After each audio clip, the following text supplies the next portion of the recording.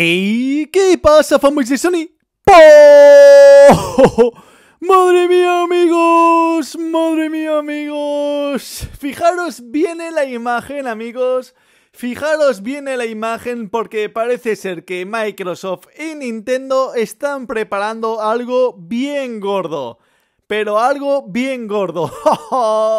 Fijaros en la esquina de la derecha, ¿vale? De la imagen y fijaros en la, en la izquierda de la imagen, ¿vale? En la esquina de la izquierda de la imagen. Por un lado, en la izquierda de la imagen tenemos al personaje de Splatoon, ¿vale? Y por el otro lado tenemos al personaje de Peach, ¿vale? De Super Mario. O sea, realmente amigos, cada vez está más cerca que los usuarios de Xbox One recibamos títulos de la Nintendo Switch en la Xbox One. Estoy totalmente convencido, amigos, que en este E3, en este E3 2019 de junio, el E3 donde Microsoft va, va a pegar un puñetazo sobre la mesa, donde se va a confirmar que vamos a recibir títulos de Nintendo para los usuarios de Xbox One. De hecho, es que creo que se van a presentar eh, varias cosas, tanto para Nintendo como para Microsoft, ¿vale?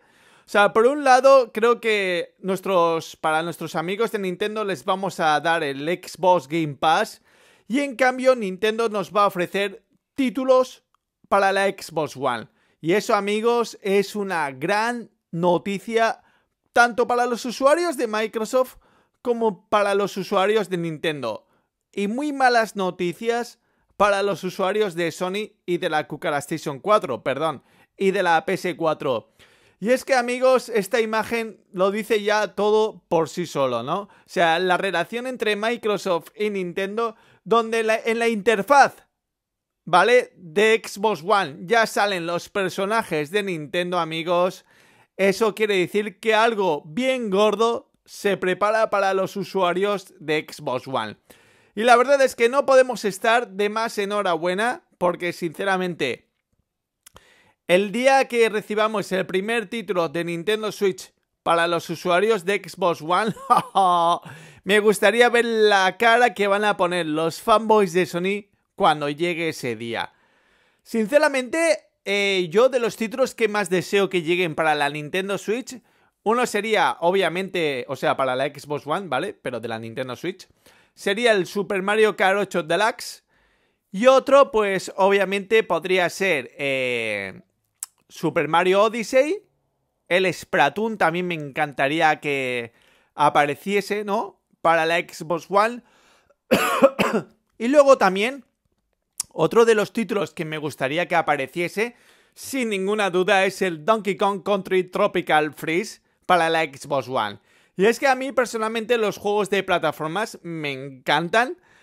Y es una cosa que Nintendo va sobrada de juegos de plataformas. Entonces, para mí esos títulos son los que más deseo, sin ninguna duda, amigos. ¿A vosotros qué títulos os gustaría que llegasen de la Nintendo Switch para la Xbox One? Dejadme en los comentarios que la verdad es que quiero ver, a ver, qué títulos deseáis vosotros.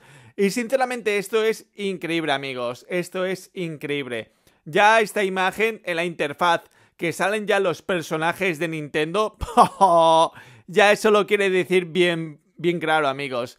Dentro de bien poco vamos a recibir los títulos de Nintendo Switch para los usuarios de Xbox One. Así que nada amigos, reventar el botón de like, quiero que reventéis el botón de like y que compartáis este vídeo para que todo fanboy de Sony de la faz de la Tierra se entere que dentro de bien poco vamos a tener no solamente los exclusivos de Microsoft, sino aparte los exclusivos de Nintendo. Así que, como dicen el eslogan de Sony, para vosotros, jugadores. ¡Po!